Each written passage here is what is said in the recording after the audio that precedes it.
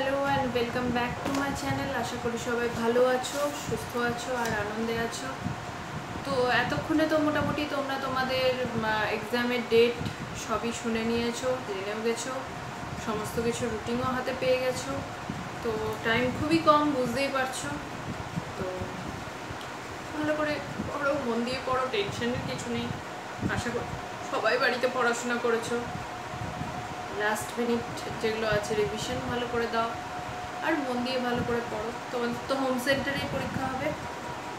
তো অসুবিধার কিছু নেই। অবশ্যই এটা কিছু ম্যাটার করে না হোম সেন্টারে হোক কি আলাদা জায়গায় হোক। তো বুঝতে। নিজের পরিবেশ, নিজের স্কুলে যাওয়ার একটা আলাদা ব্যাপার থাকে। চলো, তো আজকে আমি ক্লাস টুয়েলভের মহুয়ার দেশ, সমর সেনের লেখা কবিতাটা লাস্ট পার্ট করছি। যারা আজকের ভিডিওটা প্রথম দেখছ, তারা আগের দুটো পার্ট আসো, কারণ আগের দুটো পার্টে আমি কোয়েশ্চেন আনসার সমস্ত কিছু লিখিয়ে দিয়েছি। আজকে লাস্ট শেষ করব। তো আবারও বলব আচ্ছা এই ক্ষেত্রে অনেক কিছুই দেখবে, যেগুলো আমি লাইন তুলে কোয়েশ্চেন আনসার লেখাবো। সেগুলো মোটামুটি একই হবে আনসারটা জাস্ট তাহলে বারবার কেন লেখাচ্ছি? কারণ একটু ঘুরিয়ে হয়ে যাবে। প্রত্যেকটা প্রশ্নের সাথে উত্তরটার জাস্ট ধরনটা, বলার ধরনটা একটু পাল্টে যাবে। কথা কিন্তু ওই মোরাললেস যেটা আমি বিষয়বস্তু লিখেছিলাম, সেই কথাটাই এদিক ওদিক করে বলব। তাই লাইন বাই লাইন সব কিছু মুখস্থ করার দরকার নেই। যেটা করবে খুব ভালোভাবে কোয়েশ্চেন করে আনসারটা পাঁচ ছবার রিডিং করে নেবে। তাহলেই দেখবে হয়ে যাবে। কারণ সব সাবজেক্টেই তো করতে হবে, একটাই তো সাবজেক্ট না। যেহেতু অল্প টাইমের মধ্যে সব কিছু তাই একটার পেছনে বেশি সময় যাতে দিও না, তাই এটাকে বললাম। যতটা সম্ভব যেগুলো একসাথে পাঞ্চ করে করে দেওয়া সম্ভব, সেটা তো আমি দিচ্ছি, কিন্তু সবগুলো তো সেভাবে সম্ভব নয়, তাই বলে দিলাম। চলো, শুরু করা যাক। আজকের প্রথম প্রশ্ন লেখো মহুয়ার দেশ কবিতাটি অবলম্বন করে সমর কবি মানুষের পরিচয় দাও। অথবা মহুয়ার দেশ কবিতাটিতে কবির যে রোম্যান্টিকতার প্রকাশ ঘটেছে তা বিশ্লেষণ করো। আনসার লেখো। সমর সেন আধুনিক শহুরে কবি। নগর জীবনের যান্ত্রিকতা, প্রাণহীনতা বারবার তার কবিতার প্রতিপাদ্য বিষয় হয়ে উঠেছে। কিন্তু কবির নাগরিক সত্তার বাইরেও একটি পৃথক সত্তা আছে। সেটি হলো রোম্যান্টিক সত্তা, যার পরিচয় পাওয়া যায় তার মহুয়ার দেশ কবিতাটিতে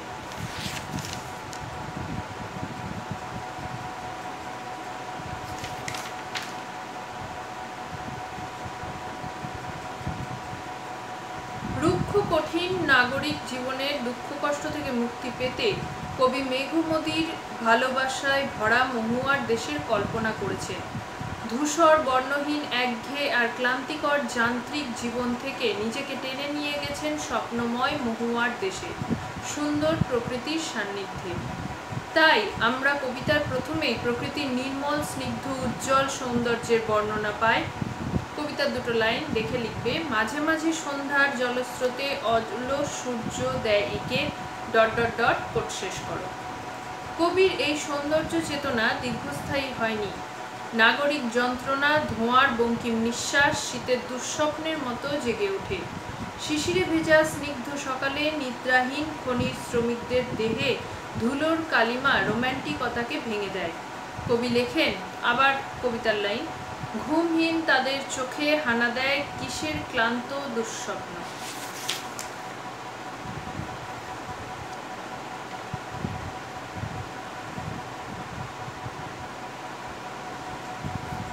চেঞ্জ করে লেখো, সন্ধ্যার জলস্রোতে যখন অলস সূর্য এঁকে দেয় গলিত সোনার মতো উজ্জ্বল আলোর স্তম্ভ, তখন মুগ্ধতার সেই আবেশ শীতের দুঃস্বপ্নের মতো ধোঁয়ার বঙ্কিম নিঃশ্বাসে আক্রান্ত হয়। এটাই নগর সভ্যতার বাস্তবতা এবং ট্র্যাজেডিও যে সুন্দরের প্রকাশ এখানে ঘটলেও তা ক্ষণস্থায়ী। সমসেন এই যন্ত্র সভ্যতারই নিপুণ ভাষ্যকার। কিন্তু তিনি এর সমর্থক নন। তাই তাকে মেঘমদির মহুয়ার দেশ হাতছানি দিয়েছে। সেখানে পথের দুধারে ছায়া ফেলা দেবদারুর দীর্ঘ রহস্য নাত্রের নির্জন নিঃসঙ্গতাকে আলোড়িত করা সমুদ্রের গর্জন কবির চেতনাকে অধিকার করে থেকেছে।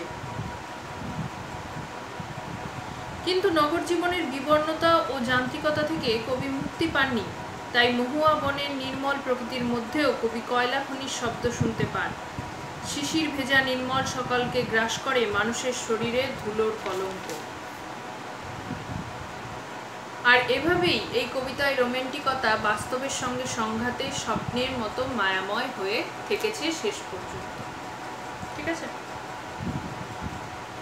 নেক্সট কোয়েশ্চেন লেখো। ঘুমহীন তাদের চোখে হানা দেয় কিসের ক্লান্ত দুঃস্বপ্ন। মন্তব্যটি আলোচনা করো। অথবা কাদের কথা বলা হয়েছে তাদের ঘুমহীন চোখে ক্লান্ত, দুঃস্বপ্ন হানা দেয় কেন? আনসার সমর সেনের মহুয়ার দেশ কবিতা থেকে উদ্ধৃত এই উক্তিটিতে মহুয়ার দেশের কয়লা খনির অবসন্ন শ্রমিকদের কথা বলা হয়েছে। প্যারাচেঞ্জ সমর সেন তার মহুয়ার দেশ কবিতায় নগর জীবনের ধূসরতা ও যান্ত্রিকতায় ক্লান্ত মানুষের যন্ত্রণাকে ফুটিয়ে তুলেছে। এখান থেকে মুক্তি পাওয়ার জন্যই কবিকে আকর্ষণ করে মেঘমদির মহুয়ার দেশ, যেখানে পথের দুপাশে ছায়া ফেলে রহস্যময় দেবদারু গাছের সারি।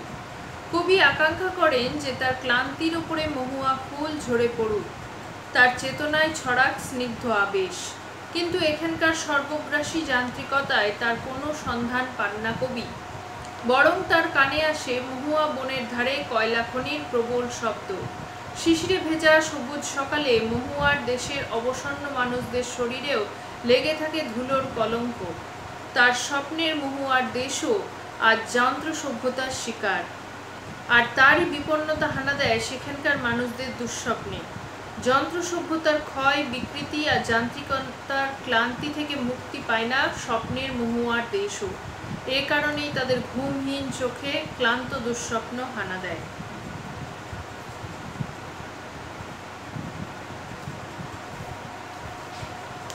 ঠিক আছে নেক্সট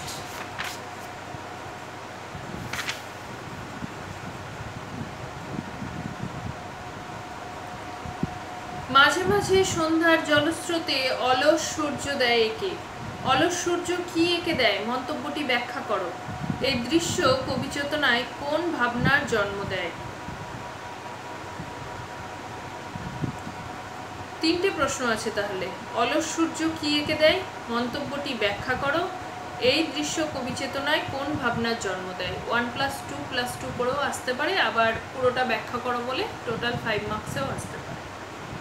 আনসার লেখো কবি সমর সেনের মহুয়ার দেশ কবিতায়, অলস সূর্য সন্ধ্যার জলস্রোতে এঁকে দেয়, গলিত সোনার মতো উজ্জ্বল আলোর স্তম্ভ। আচ্ছা একটা কথা বলে রাখি, এই যে পড়ানোর শুরুতেই বললাম যে, যেহেতু আলাদা আলাদা ভাবে আসে, তাই লিখিয়ে দিচ্ছি। এখানে দেখো এরপরের যে আমি কোয়েশ্চেন আনসার লেখাবো সেমই হবে, কিন্তু এই যে পার্টটা ভেঙে দিয়েছে, ওটা তো বোধহয় পার্টটা ভাঙেনি। তা এই যে বুঝে যে কি চেয়েছে এক্স্যাক্টলি সেভাবেই আনসারটা করবে। এক ধরনের চেয়েছে, আরেক ধরনের লেখানো আছে। ভেঙে চাইলে ভেঙে উত্তর দেবে, একসাথে উত্তর চাইলে একসাথে। ভেঙে চাইলে প্যারা প্যারা, আমি যেমন এটা মেনশন করলাম one plus two plus two তাহলে তোমাকে এই যে প্রথমেরটা ওয়ান তারপর একটা টু এর আনসার লিখতে হবে তারপর একটা টু এর। একসাথে চাইলে একসাথে। এইভাবে ভাঙাটা নিজের, বলার ধরনটা নিজের। নেক্সট প্যারা। সন্ধ্যার অস্তগামী সূর্য কবির কল্পনায় হয়েছে অলস সূর্য। কবির মনে হয়েছে দিনের অবসান যেন সূর্যের আলস্যকেই চিহ্নিত করেছে। নদীর জলে প্রতিফলিত সূর্যের রশ্মিকে কবির মনে হয়েছে গলিত সোনার মতো উজ্জ্বল আলো স্তম্ভ। সূর্যের এই আলো যেন জলের অন্ধকারের ধূসর ফেনায় আগুন লাগিয়ে দেয়। এইভাবে নাগরিক জীবনের ধলি ধূসর পরিবেশও অস্তগামী সূর্য সৌন্দর্যের মায়াময় আবেশ তৈরি করে। নেক্সট প্যারা, শহর জীবনে সৌন্দর্যের এই আবহ দীর্ঘস্থায়ী হয় না। দূষণক্লান্ত শহরে তাই ধোঁয়ার বঙ্কিম নিঃশ্বাস শীতের দুঃস্বপ্নের মতো ঘুরে ফিরে আসে। আর এর সূত্র ধরেই কবির মন পৌঁছে যায় অনেক অনেক দূরে মধুমদির মহুয়ার দেশে। সেখানে পথের দুধারে ছায়া ফেলা দেবদারুর দীর্ঘ রহস্য আর রাত্রের নির্জন নিঃসঙ্গতাকে আলোড়িত করা দূর সমুদ্রের দীর্ঘশ্বাস কবিকে আচ্ছন্ন করে রাখে। নগর জীবনের ক্লান্ত, অবসন্ন কবি কামনা করেন, আমার ক্লান্তির ওপরে ঝরুক মহুয়া ফুল নামক মহুয়ার গন্ধ। বেশিরভাগ স্পেলিং বইয়ের কবিতায় পেয়ে যাবে, তাই যখন লিখবে, দেখে লিখো, স্পেলিং ভুল করবে না। নেক্সট কোয়েশ্চেন আর আগুন লাগে জলের অন্ধকারের ধূসর ফেনায়। কিসের কথা বলা হয়েছে? এর ফলে কি ঘটে? এই অবস্থায় কবি কিসের প্রত্যাশা করেন? এখানেও দেখো পাঠ ভেঙে দিয়েছে। সমর সেনের মহুয়ার দেশ কবিতায় প্রশ্নধৃত অংশে অস্তগামী সূর্যের কথা বলা হয়েছে। কবির কথায় অলস সূর্য, সন্ধ্যার জলস্রোতে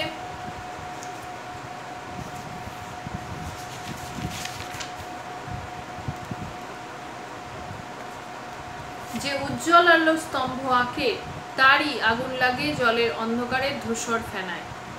নেক্সট প্যারা। সন্ধ্যার জলস্রোতে অস্তগামী সূর্যের আলো তৈরি করে দেয় এক উজ্জ্বল স্তব্ধতা। একদিকে সূর্যের বিদায় মুহূর্তে অন্ধকারের আগমন, স্তব্ধতা ডেকে আনে, অন্যদিকে তার রক্তিম আভাস সৃষ্টি করে এক মায়াময় উজ্জ্বলতার। কিন্তু সেই মায়ামতার আবেশ যেন ছিন্ন হয়ে যায় নাগরিক পরিবেশের প্রতিকূলতায়। শীতের দুঃস্বপ্নের মতো সেখানে ঘুরে ফিরে আসে ধোঁয়ার বঙ্কিম নিঃশ্বাস। নগর জীবনের বিষাক্ত পরিবেশে খণ্ডিত হয় সৌন্দর্যের বাতাবরণ। নেক্সট প্যারা। এই অবস্থায় কবির চেতনায় আসে অনেক দূরের মেঘমধুর মহুয়ার দেশের চিন্তা। সেখানে সারাক্ষণ পথের দুধারে ছায়া ফেলে দেবদারুর দীর্ঘ রহস্য আর দূর সমুদ্রের গর্জন রাত্রের নির্জন নিঃসঙ্গতাকে আলোড়িত করে। সেই নির্মল প্রকৃতির সান্নিধ্যে কবি নাগরিক জীবনের অবসাদ থেকে মুক্তি চান। কবি চান, তার শরীরে মহুয়ার মাদকতা আবেশ ছড়াক, চেতনায় থাক মহুয়ার গন্ধ। নেক্সট সেই উজ্জ্বল স্তব্ধতায় ধোঁয়ার বঙ্কিম নিঃশ্বাস ঘুরে ফিরে ঘরে আসে শীতের দুঃস্বপ্নের মতো। মন্তব্যটির তাৎপর্য আলোচনা করো। এটা স্ট্রেট আছে, কিন্তু যদি এক্সামে দেখো ভেঙে দিয়েছে, ভেঙে ভেঙে প্যারা চেঞ্জ করে আনসার লিখবে, বারবার বলছি। আনসার সমরসেনের মহুয়ার দেশ কবিতা নগর জীবনের ধূসর পটভূমিতে শান্তির নিশ্চিত, আশ্রয় সন্ধানের কথাই তুলে ধরেছে। এই নগর জীবনের চারপাশেও সূর্য অস্ত যাওয়ার সময়ে প্রকৃতির অসামান্য প্রকাশ ঘটে। সন্ধ্যার জলস্রোতে তখন অলস সূর্য এঁকে দেয় উজ্জ্বল আলোর স্তম্ভ। জলের অন্ধকারে ধূসর ফেনায় অস্তগামী সূর্যের মৃদু আলো যেন আগুন জ্বালিয়ে দেয়। কিন্তু নগর জীবনের ধূসর পরিবেশে এই সৌন্দর্য চিরস্থায়ী হয় না। অত্যন্ত ক্ষণিকের মায়াময় পরিবেশের পরে সেখানে ঘুরে ফিরে আসে বিষাক্ত ধোঁয়ার আবরণ। কবির কাছে তা দুঃস্বপ্নের মতো। এই নগর জীবনের ভয়াবহতা থেকে কবি মুক্তি চান। এই মুক্তির সন্ধানেই কবিতার চেতনার মধ্যে মহুয়ার দেশকে খোঁজে।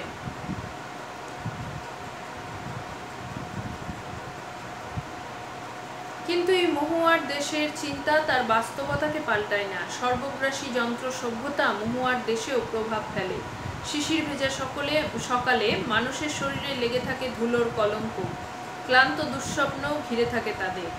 এভাবেই কবি মহুয়ার দেশ কবিতায় নাগরিক জীবনের বিবর্ণতার হতাশার ছবি তুলে ধরেছেন। কল্পনা বিলাস আর স্বপ্নময়তা এভাবেই রুক্ষ বাস্তবের আঘাতে বাধাপ্রাপ্ত হয়েছে সেখানে। আচ্ছা এটা লেখাতে লেখাতে একটা মনে এলো, যদি দেখো যে এরকম কোনো প্রশ্ন এলো যে মহুয়ার দেশ কবিতায় সমর্ষের নগর জীবনের সাথে তার বা নগর জীবনের বাস্তবতার সাথে তার কল্পনার মহুয়ার দেশে যে দ্বন্দ্ব প্রকাশ করেছেন সেটা লেখো, তাহলেও কিন্তু এই আনসারটা লিখতে পারো। জাস্ট মনে হলো, এরকম আসতে পারে কিন্তু। যে দুটোর দ্বন্দ্ব বা দুটোর যে সংঘাত ঘটেছে, এরকম ধরনের যদি কিছু তুলনা আসে, কারণ দুটো দেখছি তো, একটা বাস্তব আর একটা কল্পনা। এই দুটোর সংঘাত বা কনফ্লিক্টের উপর যদি কোনো প্রশ্ন আসে, এক্ষুনি যে উত্তরটা লেখালাম, এটা লেখাতে পারো। অ্যাজ ইট ইজ কিছু চেঞ্জ করতে হবে না। লিখে রাখো পাশে প্রশ্নটা নেক্সট অনেক অনেক দূরে আছে মেঘমদির মহুয়ার দেশ। কবি মহুয়ার দেশের কি বর্ণনা দিয়েছেন?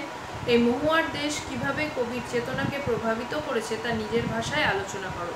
এটা টু প্লাস থ্রি করে আসতে পারে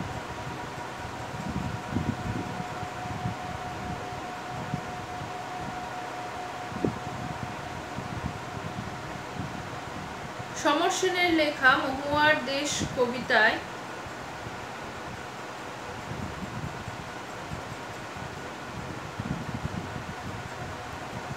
কবি মহুয়ার দেশকে মেঘ মদির বলে বর্ণনা করেছেন। সেখানে সবসময় পথের দুপাশে ছায়া ফেলে রহস্যময় দেবদারু গাছেরা। রাত্রির নিঃসঙ্গ নির্জনতাকে আলোড়িত করে দূর সমুদ্রের দীর্ঘশ্বাস। প্যারাচেঞ্জ মহুয়ার দেশ কবিতায় কবি সমসেন নগর জীবনের ক্লান্তিকর অবসন্নতা থেকে মুক্তি খোঁজেন কবির চেতনায় আসে মেঘমদির সুদূর মহুয়ার দেশ। গ্রাম জীবনের নির্মল প্রকৃতির অনুষঙ্গ হিসাবে কবির কল্পনায় মাদকতাময় মহুয়া ফুলের আকাঙ্ক্ষা জেগে ওঠে। যে কবি লিখেছেন সরি যে কবি লিখেছেনটা কেটে দাও। সমর সেনের মহুয়ার দেশে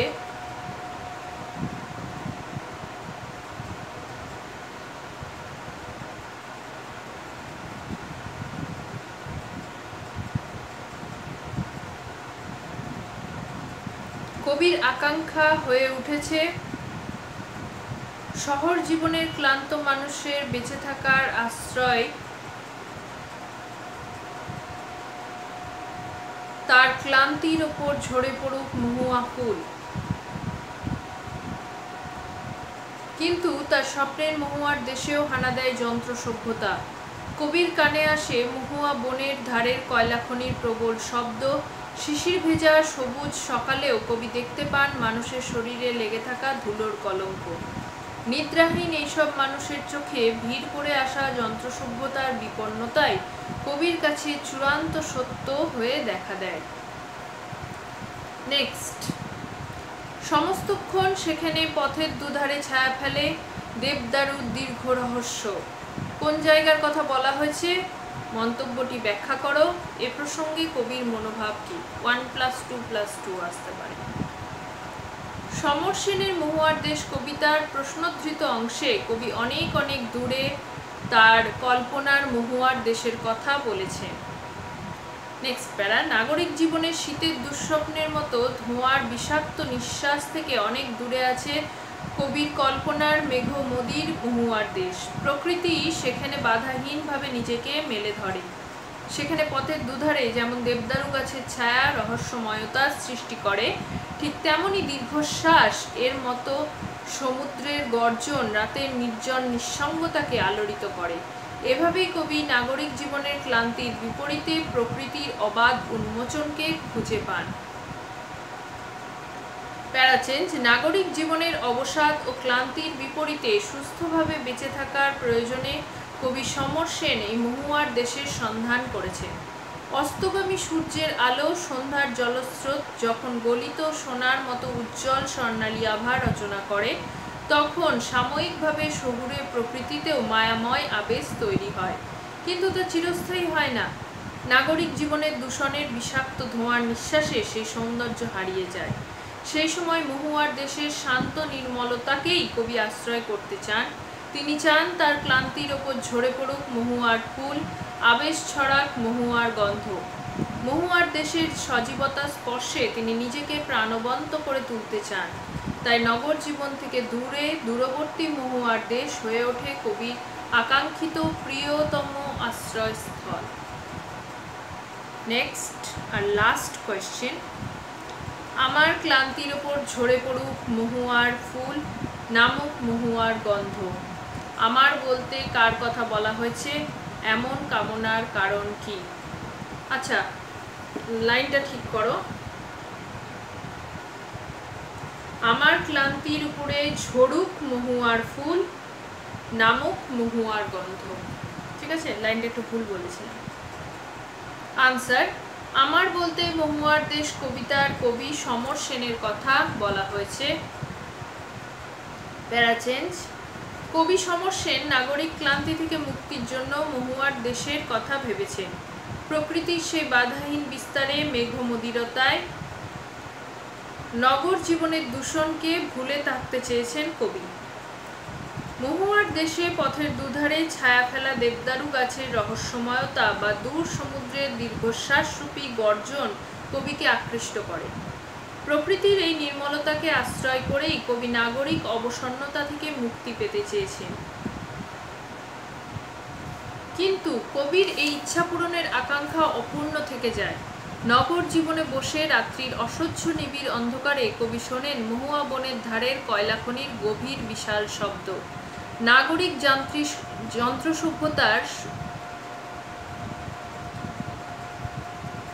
নাগরিক যন্ত্র সভ্যতা, মহুয়ার দেশের মেঘমদির রহস্যময়তার অবসান ঘটিয়ে কয়লাখনির শব্দকে মনে করায়। যন্ত্র সভ্যতা এভাবেই সর্বগ্রাসী রূপে ধরা দেয় কবির চেতনায়।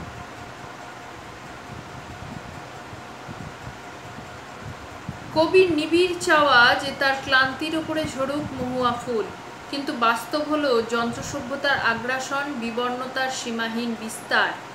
যা কবির স্বপ্নের মহুয়ার দেশকেও নিস্তার দেয় না। ঠিক আছে? তো আশা করি এর বাইরে এখান থেকে আর কোনো প্রশ্ন আসবে না বা পড়ার কোনো দরকারও নেই। যা করিয়েছি যথেষ্ট। খুব ভালোভাবে সবগুলো ভালোভাবে রিডিং করে নেবে, তাহলেই হয়ে যাবে লাইন বাই লাইন মুখস্থ করার দরকার নেই। টেনশন নিও না প্রেশার নিও না, আরামসে থাকো, মন দিয়ে পড়াশোনাটা করো। এবার একটু বেশি টাইম পড়াশোনার পেছনে দাও ঠিক আছে? ভালো থেকো। আর যদি এই আমার ভিডিওগুলো ভালো লাগে প্লিজ একটু লাইক করো শেয়ার করো আর সাবস্ক্রাইব করো আমার চ্যানেলটাকে। নেক্সট দিন তোমাদের অন্য কোনো একটা টপিকের ওপর ডিসকাশন চলবে। ঠিক আছে? চলো। টাটা। ভালো থাকো।